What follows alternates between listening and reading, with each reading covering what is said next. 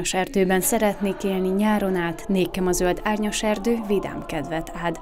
Hangzott fel a Lajta László vegyes kar tolmácsolásában szerda délután a Flash központban a 17. termény és virágkiállítás megnyitóján.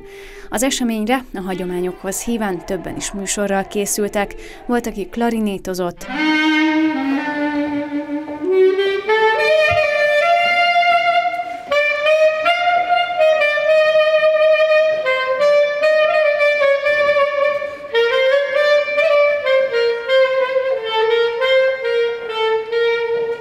de verset mondtak kisebbek. Babot vetettem, nagyot nevettem, mondta az öcskös, akkor neves, majd ha a babot bőtelést adott.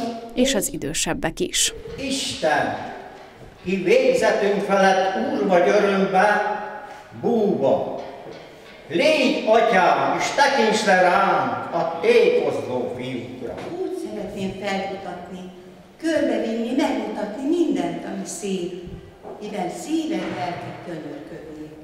A fennállásának idén 47. évfordulóját ünneplő Moson-Magyaróvári kertbarátok köre 2002-ben szervezte meg először termény és virágkiállítását az akkori városvezetéssel közösen. A szerdai megnyitón beszédet mondott Árva István is, aki kiemelte, felelősséget kell az önkormányzatnak vállalnia annak érdekében, hogy a kertbarátok köréhez hasonló szervezetek sikeresen működjenek, és minél tovább fennmaradjanak, működésükkel is példát mutatva a jövő nemzedékének. Nem csak a saját örömünkre, csak a kiállítók örömére látom itt a, a, a büszke kiállítókat, a terményeikre és egyéb e, dolgaikra büszke kiállítókat, hanem az egész városrakó épülésére. E, és ennek a, ennek a felelőssége azt gondolom az önkormányzat munkáját áthatja. Próbáljuk megteremteni azokat a feltételeket, anyagiakat és egyéb más helyszínbiztosítási feltételeket, ami, ami ahhoz kell, hogy méltó módon megmutathassa magát egy-egy közösségnek. A polgármester hozzátette, a városvezetés a civil szervezetekkel közösen azon dolgozik, hogy még virágosabbá, szebbé és kultúráltabbá tegyék a várost. A köszöntőt követően aztán a kertbarátok körének tagjainak munkáját emléklappal köszönték meg. A köszöntőket követően pedig Kis Miklós. Legyen Isten áldása ezen a terménykiállításon az Atya és a Fiú és a Szentlélek nevében.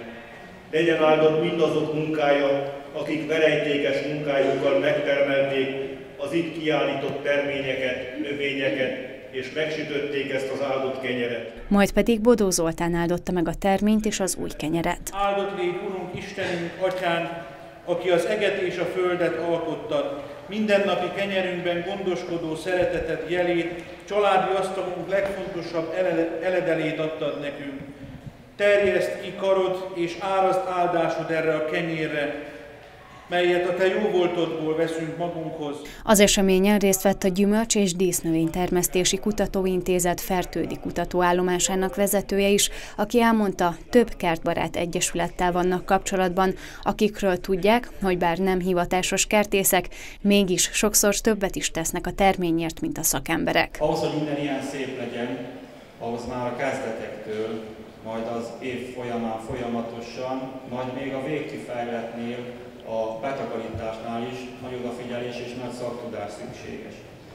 Ez igazából, hogy is fogalmazzak, nem csak kertbarátként igazolja az önök tudását, hanem mondhatom, hogy kertészként is. A kiállítás megnyitóján a hagyományokhoz híven idén is kihirdették a Magyarország legszebb konyhakertjei elnevezésű versenyhelyi eredményeit is. Moson Magyaróvár idén már hatodik éve csatlakozott a megmérettetéshez, ezen alkalomra pedig a verseny programigazgatója Kovács Szilvia egy levelet írt a helyi indulóknak, amit német Andrea tolmácsolt a jelenlévőknek. Moson Magyaróvár eddig Elért szép eredményei méltán bizonyítják, hogy Győr-Moson-Sopron megye vidékén gazdag a kertkultúra, őrzik a hagyományokat, ízletes gyümölcsöket és zöldségeket termelnek szakszerűen gondozott kertjeikben. Az idei megmérettetésre összesen 23-an jelentkeztek, akiknek kertjét egy négy tagú zsűri járta végig és bírált el. Külön örömre ad okot, hogy a közösségi kategóriában évek óta egyre többen jelentkeznek. Idén is két óvoda, a Hildegárd és a Lurkóvár mérettette meg magát, akik szintén elismeréseket vehettek át az eseményen.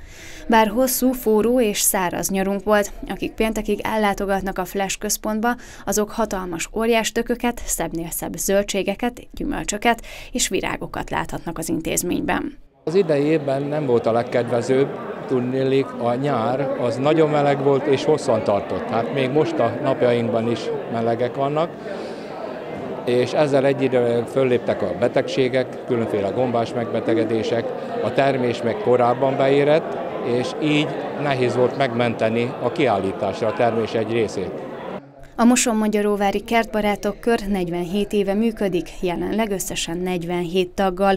Folyamatos kapcsolatban állnak más kertbarátkörökkel és a város óvodáival is, hogy minél többet tanulhassanak egymástól, ennek érdekében pedig szakmai előadásokat szerveznek. A termény és virágkiállítás kiemelkedő célja, hogy népszerűsítsék a hazai és a háztáji élelmiszereket és azok vásárlását, valamint a természettudatos életmódot.